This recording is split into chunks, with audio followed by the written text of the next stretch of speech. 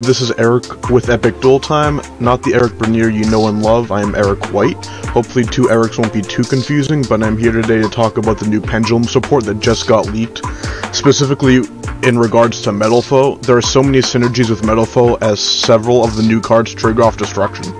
If you haven't seen the new cards, we already uploaded a video for them, so I won't go and go too in detail about every effect on them, for that, I highly recommend checking out the previous video that we like just uploaded.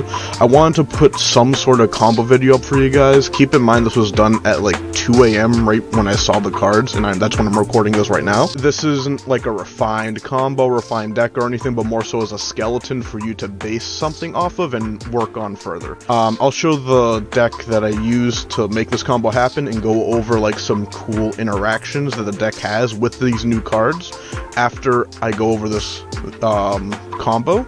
Um, that being said, I'll do my best to narrate this, but um, so this is Metalfoe Zefra Pile.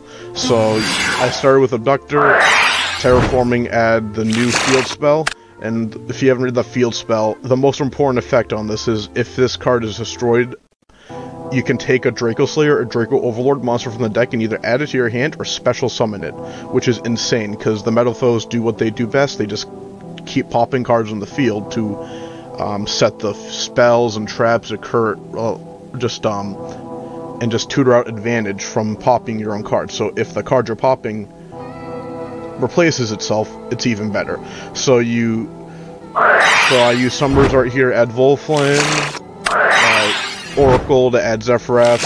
activate Zefraath, use it to send Zefraniu to the extra deck. Um, use Abductor, to add Souls. Then I scale Steelen, Steelen to pop Zefraath to set combination, and you and then I'll use Volflame to set combination as well. And this whole just Soul send two with send two combinations with souls to draw two and then get two searches is so insane. So here add Melocaster and Volflame, which are like the best ones to search. Now make Beyond the Pendulum, and of course pay 1200 to add like the best Pendulum card ever, Astrograph, especially in this deck because it can trigger off anything if you open it. Um, so I scale Gold Flame, uh, Goldriver, sorry, Gold. Then I Pendulum Summon five. Like it's fucking Pepe format all over again. So uh, the Zefraniu effect will let me add Divine Strike, which is already in a negate. That's just searchable through the deck. And then what I do next is I overlay into Odd-Eyes Absolute Dragon, turn Absolute and Beyond into Selene. Selene gets its counters, and Absolute summons Vortex, which is another negate. And then uh, I'm going to use Selene, removing the three counters to bring back Souls, and then turn those two into a two material Apollousa. So now I already have the two mana Apollousa, a Vortex, and Divine Strike, and I'm just getting started. I'm going to put down the new field spell. I haven't used my Goldriver yet, so I'm going to use Goldriver to set Parametalfoes Fusion from the deck. The new card, the new field spell is going to summon this card, Ignis, Phoenix of the Dracoslayer.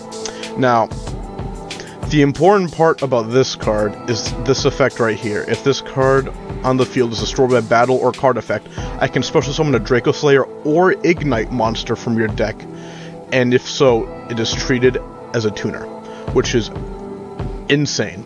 So I go Parametalfoes fusing Steelen and Zefraath from the extra deck to make Mithrilium. I use Mithrilium shuffling back Parametalfoes and Melocaster to bounce Goldriver back.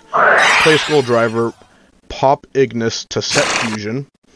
Um, Ignis triggers to summon Igknight Gallant.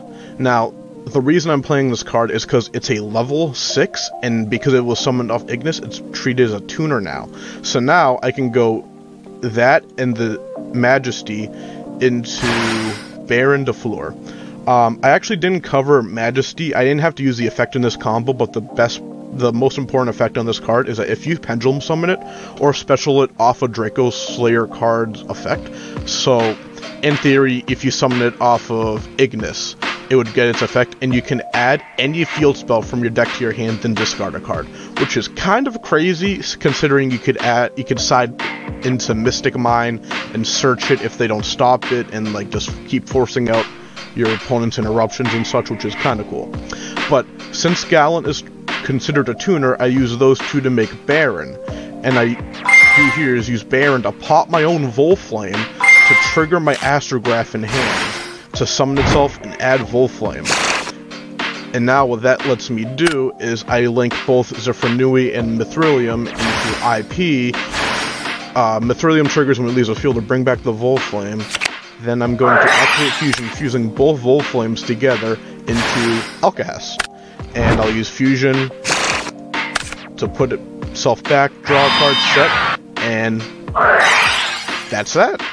So, what this end board is, is two Apollousa negates, a Vortex negate, a Baron negate, Alkahest Quick Play Thousand Eyes, and I can use IP to, oh, can't see it in the replay, but I can use IP to make Unicorn with my Astrograph to shuffle something back by discarding the souls Industry and Divine Strike. So that is one, two, three, four, five, six, seven interruptions.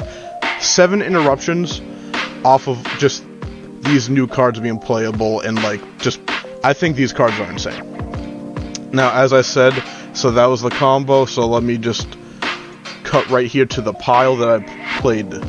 And so obviously like I said this isn't refined. I just wanted to point out some niche interactions that are in the deck. So obviously the field spell is broken. If you're playing the field spell with Oracle Zefra, it just opens so many possibilities. Like I have set rotation in here. Like it is just to add extra like consistency to this pile. Um, the nice thing here is that with Bunbuku, if it's normal or special summoned, you can add one Majespecter monster from your deck to your hand.